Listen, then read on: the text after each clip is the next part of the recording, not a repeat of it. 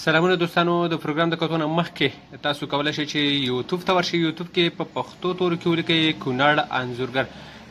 نو تاسو به زموږ چینل ته راسن راولي نو دلته زموږ نورې ویډیوګانې دا تاسو هم کتلی شئ. خو مخکې د دې پروګرام کتلو څخه تاسو لومړی زموږ دا چینل subscribe کړئ.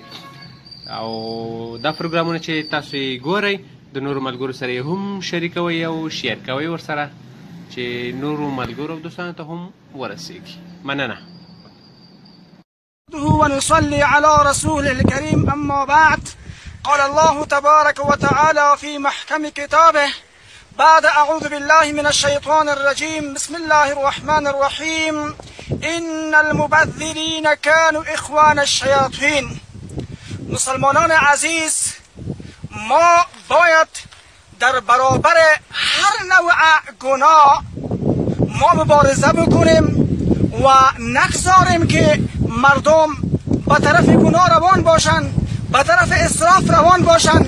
کاری را انجام میدن که از نگاه دین مشکل شرعی داشته باشه.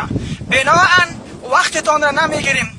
مجاهدین امارت اسلامی افغانستان و سرکردگی این جانب می‌خواهد که یک عملیاتی را در رابطه محو گناه و در رابطه محو اصراف انجام بدهد. بناهن ما یک دانه لبدانی یا تفدانی که می‌گویند.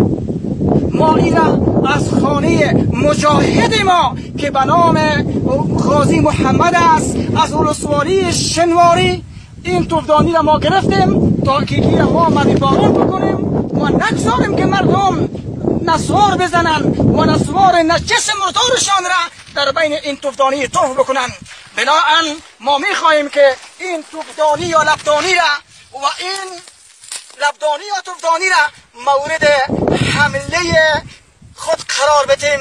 بسم الله الرحمن الرحیم. والمتر کو